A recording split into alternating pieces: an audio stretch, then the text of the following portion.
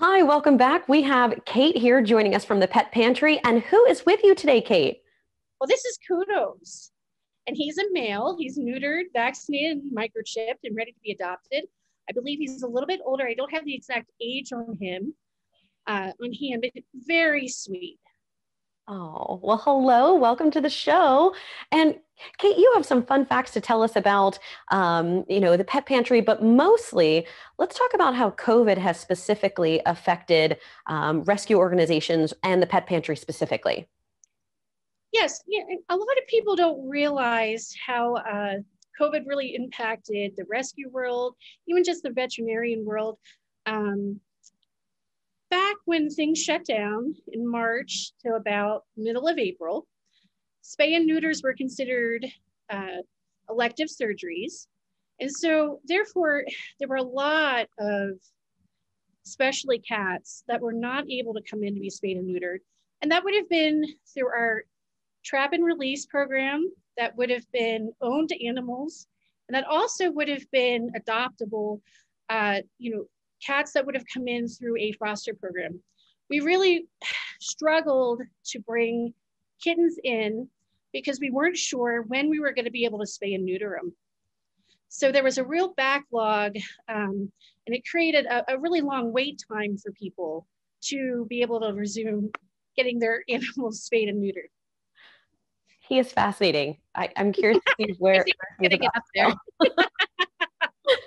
this is live TV, my friends, and so we're just we're following along to see what he's up to. So yes, after spay and neuter surgeries were able to resume, and that would have been the middle of May. Uh, our rescue department had been working weeks even prior to that to really build our foster family program. So I think we went from about 20 uh, consistent foster families. I think we had 50 to 60 families um, all summer working.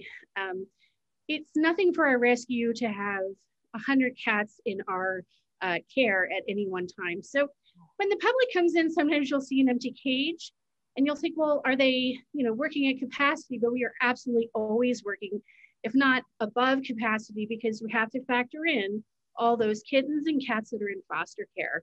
If you wanted to become a foster care fur parent, how do you do that?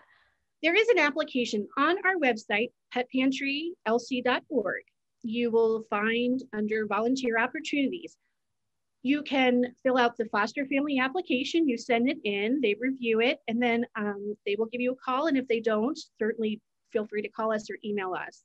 Um, I know that they are always looking to find new foster families that's wonderful especially because you know maybe you're you're trying to help the rescue organizations um, but at the same time you're not able to do it full time so that and i think for families who maybe can't commit to having animals in their home all the time their own pets this is sometimes a great way to okay you can have pets when you're not traveling but when you want to go on vacation you take a break and then you don't have foster kittens in your home during that time it's sort of a nice i know for retirees it's kind of a nice opportunity Oh, that's great. So, if you're watching this and you're thinking, I would love to have a little bit more life in my home, this would be a wonderful route for you. Yeah.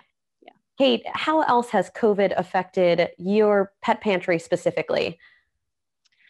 Well, with all those extra kittens, all of those extra family, foster families, part of our foster program is all of the supplies medical, medical care are provided for you. It's not out of a foster family's pocket.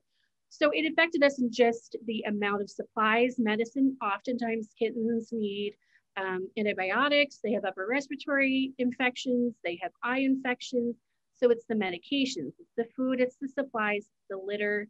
Um, certainly that has just required us to fundraise and do those supply drives, you know, even harder to make sure that we have all the supplies on hand that we're gonna need. If our viewers are thinking, maybe I can't have a pet in my home, but I would love to support your cause, is there a way that they could donate specifically to you? Absolutely. I do believe we do Amazon Smiles. Again, that you can find that information on our website. Also, I mean, we always take supplies and drop offs at our facility on 26 Millersville Road. We take dog food, cat food, even if it's open, we will take it to part of our food program. Um, canned food, dry food, treats, toys, dog beds, um, towels. We will even take gently used towels and bedding Um, you know, pretty much if you have a question as to if we want it, just give us a call or email us. Um, I'm sure we could probably find use. I, I think we're kind of talented that way. We can find use for almost anything.